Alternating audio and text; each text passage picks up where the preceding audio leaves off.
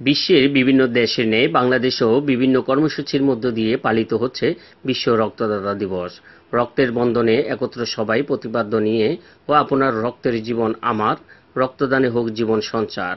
এমনই স্লোগানে অন্যান্য স্থানের মতো সীতাকুণ্ড পালিত হয়েছে বিশ্ব রক্তদাতা দিবস।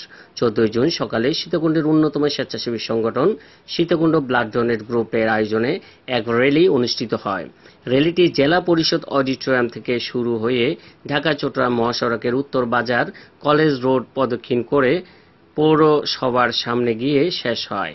এই সময় উপস্থিত ছিলেন ব্লাড ডোনেট গ্রুপের অ্যাডমিন পরিচালক জাহিদুল ইসলাম, রুমন সীতাকুণ্ড অনলাইন জার্নালিস্ট অ্যাসোসিয়েশনের সাধারণ সম্পাদক জাহাঙ্গীর আলম, বিএসসি, সাংবাদিক নাসির উদ্দিন অনিক, ব্লাড ডোনেট গ্রুপের সদস্য সাইফুল, এলিট আজগর, কামরুল আসলাম, টিপু মিত্র প্রমুখ।